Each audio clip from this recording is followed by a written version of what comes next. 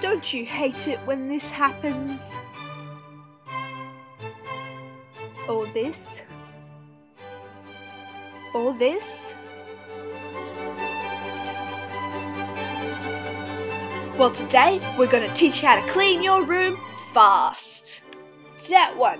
First, we must focus on the bed because this is the main focus of your bedroom. First, we must clear the bed. Don't worry, we'll clear the floor later.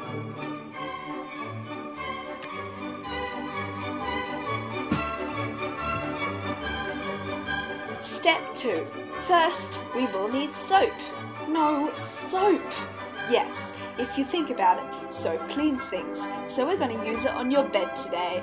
First, just squirt some in your hands and rub your hands together and rub it all over the bed.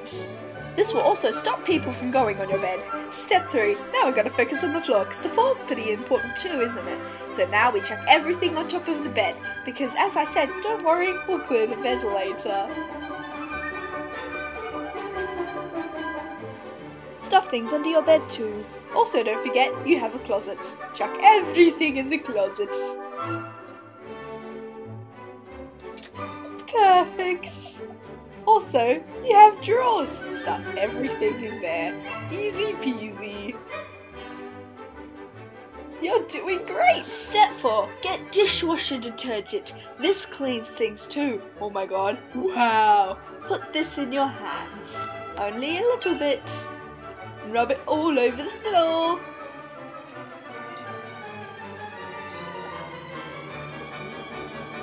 Now you can dance!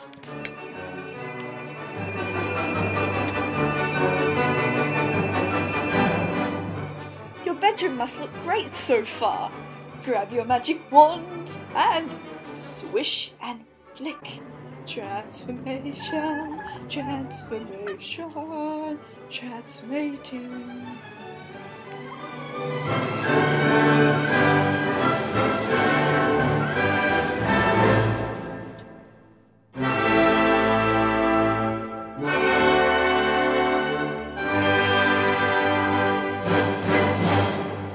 Be careful when opening the closet. Okay.